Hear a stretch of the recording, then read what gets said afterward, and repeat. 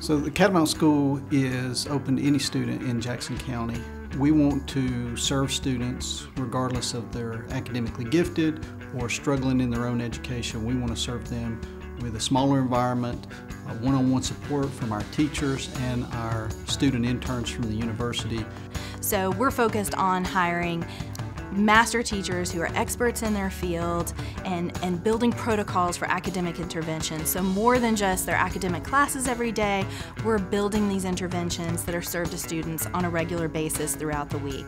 And what that means is students who have experienced struggles academically, we're working to move the needle so they can get to the next level, but also students who are looking to be challenged and really need that challenge on a regular basis and potentially haven't experienced growth and need a, a context in which they can experience that So the, the individualized learning has to start with two things, and it has to start first with the, the relationship between the teacher and the student.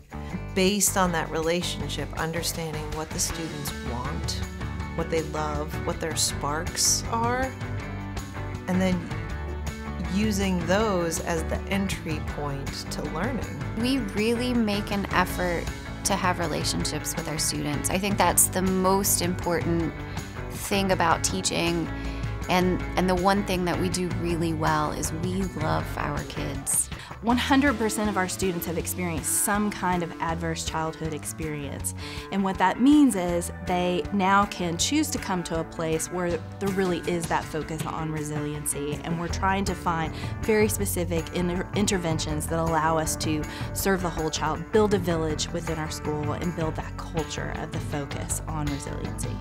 Our relationship with Western, since they are supporting so much of what we do in the classroom, we always have more than one set of eyes on our students. So it allows us to, first of all, meet everyone's attention needs. And second of all, we can facilitate these cooperative learning groups and we can actually make sure everyone is So having so many hands on deck allows us to do such a good job of teaching the 21st century skills that kids need. We're focused on remaining small, so we will never be uh, a huge, gigantic middle school. We will always be a small community. Our target enrollment is 75 at the most, and that really allows us to give individualized attention to students who attend the school. I love the, the techniques they use sometimes, like they have multiple teachers in one classroom, so you don't have to worry about being frustrated, your timing, because sometimes you have to ask a teacher a question. She's so busy with the others that she can't get over to you, and you're trying to keep up with your work. So it drives me insane. So I like some of the things they do there.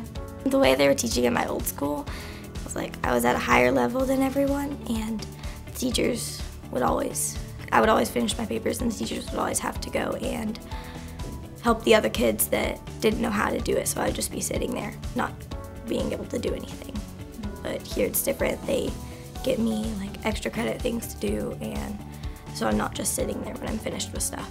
I feel like I'm a lot closer with my teachers here and they know more about my home life and they can relate that to my life at school.